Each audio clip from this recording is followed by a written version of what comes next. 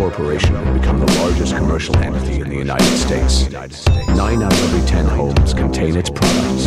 Its political and financial influence is felt everywhere.